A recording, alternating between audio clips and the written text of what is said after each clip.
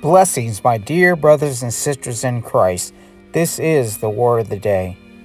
This video that I am making today will be the most important video that you will ever watch in your entire life. Today, I'm going to go over what it means to be saved.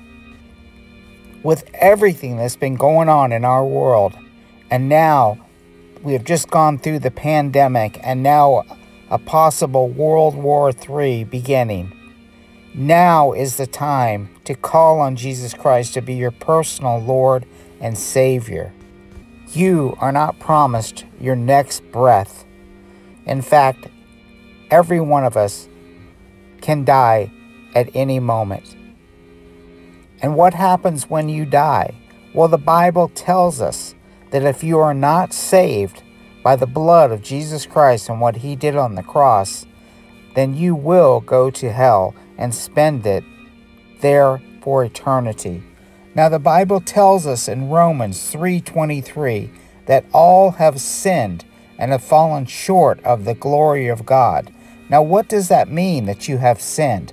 Well, I'll explain it to you very simply. Have you ever lied to anyone? Have you ever stolen anything? Have you ever used the Lord God's name in vain? Have you ever looked at another human being with lust in your eyes for them?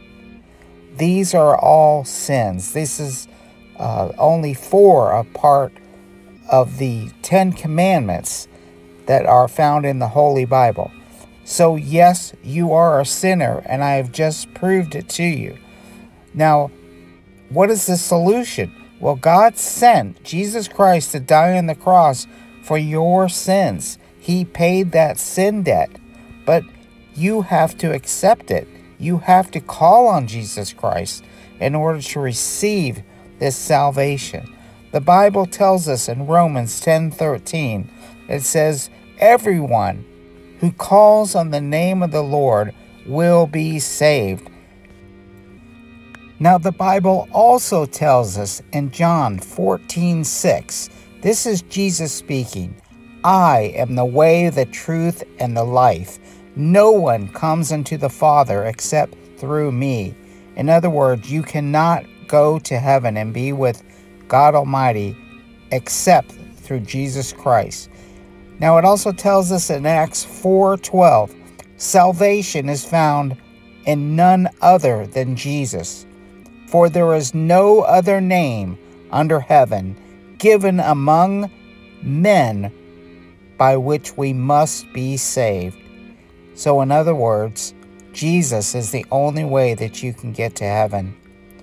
So, if you believe in Buddha, if your faith is in Judaism, Hinduism, Islam, Taoism, Zoroastrianism, Confucianism, Chinese folk religion, paganism, African religions, or Wicca, or any other of the different religions that are in the world, you are lost. The Bible is clear.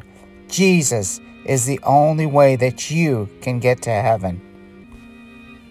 Now, there's one thing that I want to point out to you also there are over 10,000 prophecies found in the Holy Bible. Many have come true, and many more are to be fulfilled. Now, what are the chances of even one of these prophecies coming true?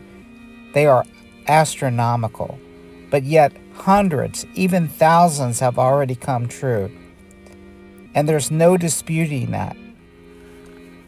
So, if they are found to be true these prophecies that have been made and the ones that are coming true. And it also says that Jesus is the only way to get to heaven. Well, that must be true also.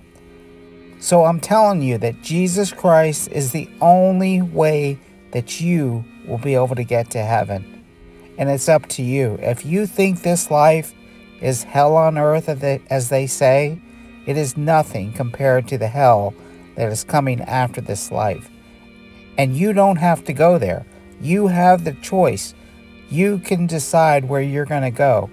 And simply all you have to do is call on Jesus Christ to be your Lord and Savior.